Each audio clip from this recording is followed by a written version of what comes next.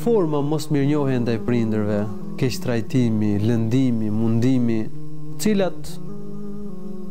mund të konstatohen edhe tek njerëz të cilët zbatojnë ritet e fesë islame. Edhe tek njerëz që mendojnë se janë shumë që i respektojnë shumë prindrit, ka njerëz që edhe pse kryepërgjithsisht i respektojnë prindrit,